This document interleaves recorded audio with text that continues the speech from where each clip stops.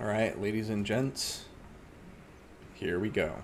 Starting with our blue player, Carl Harman.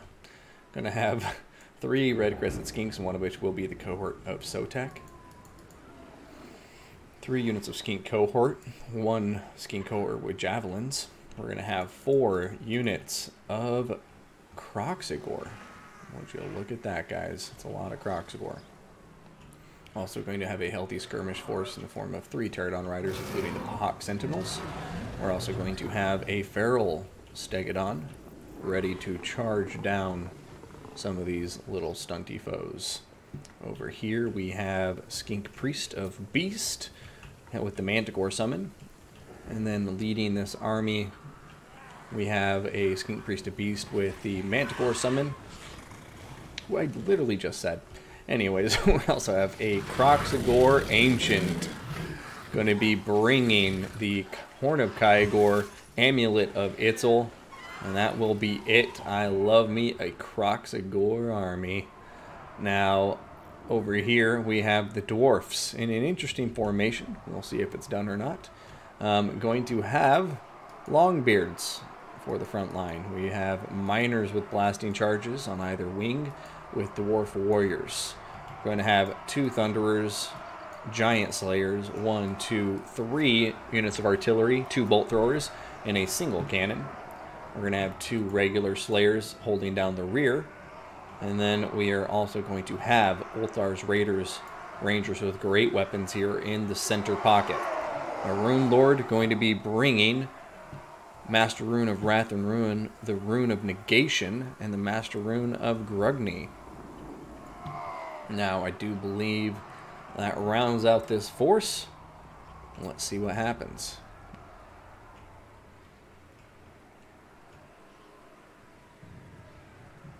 Okay, pushing him out a bit more.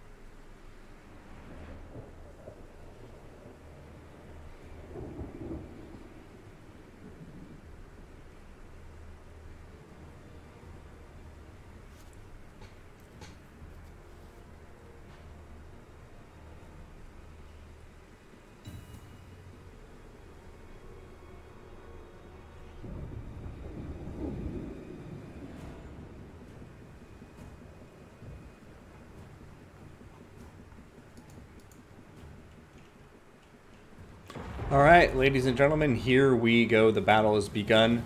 The Dawi are opening fire with their cannons and their bolt throwers.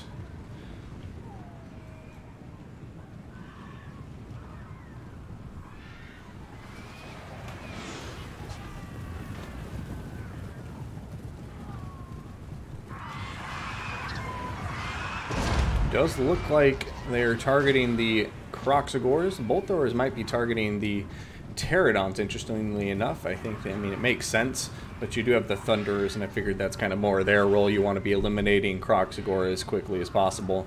But right now, I think this Dwarf Army's going to have their work cut out for. Unfortunately, they do have three Slayers, and those Longbeards should be able to hold out a long time, and the Slayer's obviously unbreakable. So we'll see what the Dawi can do here. Right now, Terradon Rider's going in for a bombing run by the looks of it. Yep, there they go. This one, not the most effective bombing run. Over here, a very effective bombing run.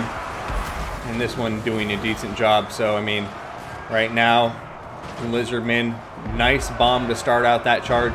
Kroxigor, Red Crested Skink Infantry coming in to support afterwards. Manticore Summon going down on the back lines. One Terradon Rider is routing. Thunder is doing a pretty good job shutting some of these guys down. Terradon Riders being used to try and shut down the artillery now. Slayers coming in here to clog the front lines. And uh, they absolutely need that. Because if the Dawi can mop up the remnants of these Terradon Riders quickly enough, then they have the chance to win this battle.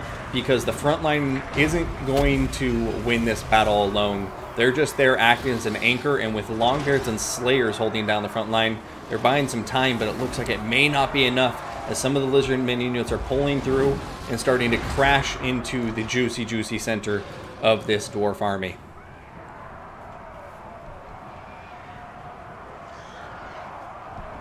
Blasting charges coming out, doing a ton of damage on top of these Skink with Javelins.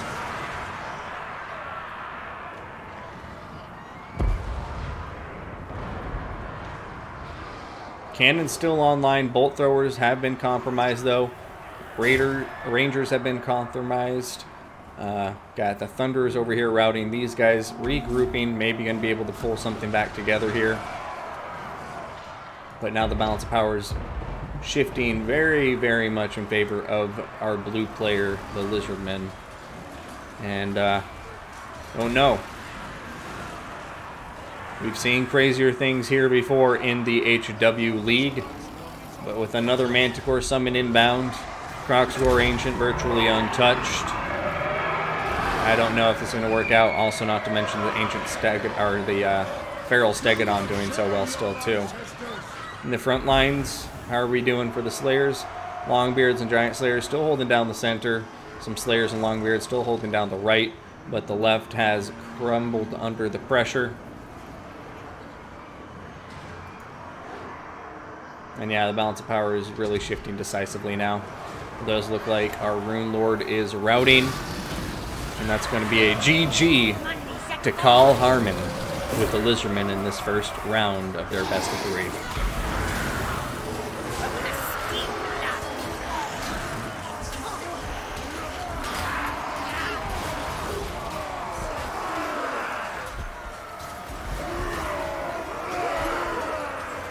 Um, I literally give no fucks. I'm just wading through you like a woman at the beach.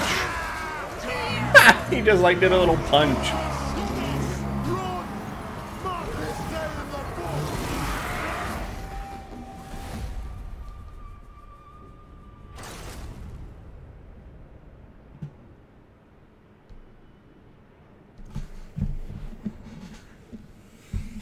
Hey Shidoku, good to see you, friend.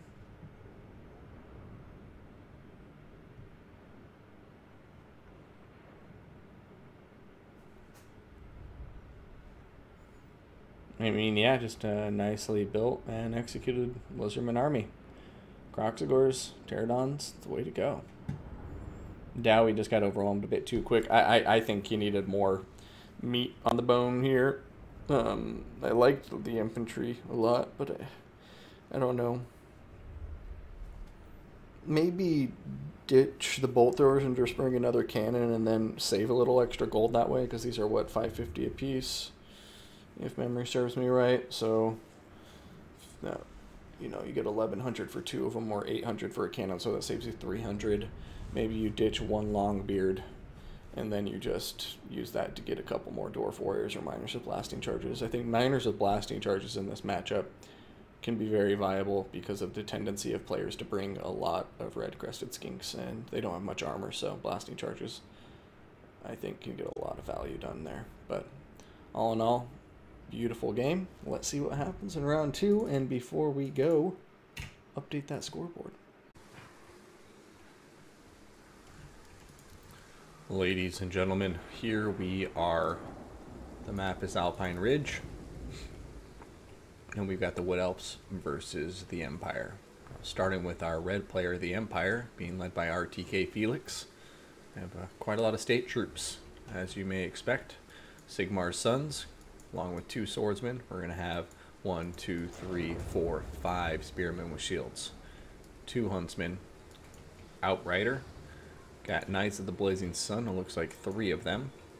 Gonna have mm, that's the infantry I just went over, and then uh, to round out the rest of this force, we have the leadership squad. It's to consist of two wizards. One of them being a bright wizard, and the other a jade wizard. Jade wizard's to have earth blood and the power stone, while that bright wizard is over here is going to have burning head and flaming sword of Rhuin with kindle flame. Volkmar the Grim on top of his big old wagon is going to be coming to the field as well. He will be bringing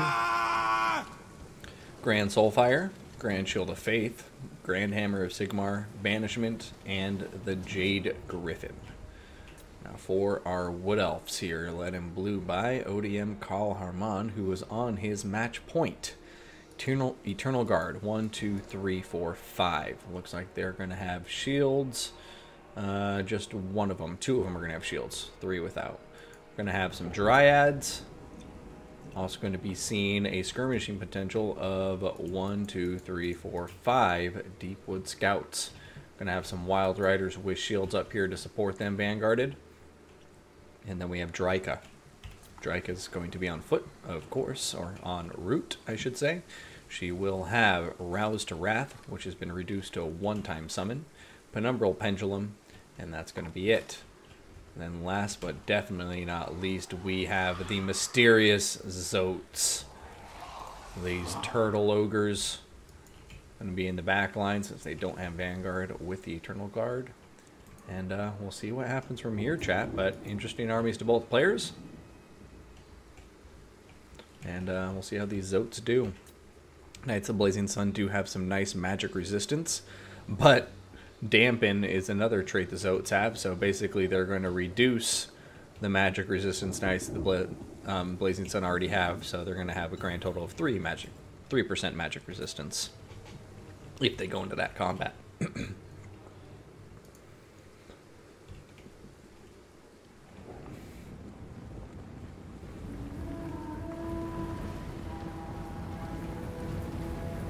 Alright, all the Empire State troops do have shields, so 33% block chance.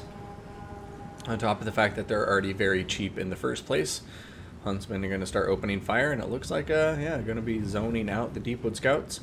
Or pulling back without, I mean, they're getting some value. Definitely a lot of chip damage here, but, uh, you know, it kind of plays into the Empire's advantage if most of the ammunition is spent shooting state troops.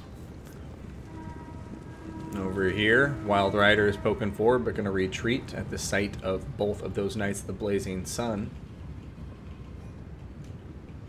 It looks like the Wood Elves are just going to pull back, continue harrying the forces as they retreat, and they're going to fight them here in the open field.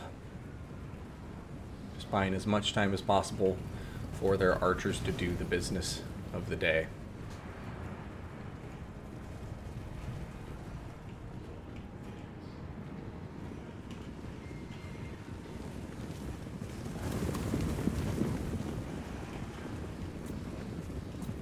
Knights of Blazing Sun pushing forward. Looks like they may be trying to catch these guys. Over here, a Banishment coming down. It's going to catch these guys. At least some of them not doing the most damage, so perhaps a bit premature, but we'll see what happens. Knights of the Blazing Sun desperately trying to catch these Deepwood Scouts, but it looks like they're not going to catch them in time. Zoats are coming in. This is going to have to be a very quick charge indeed. There they go. They hit them hard. Now they need to pull out, and it looks like they're about to do so.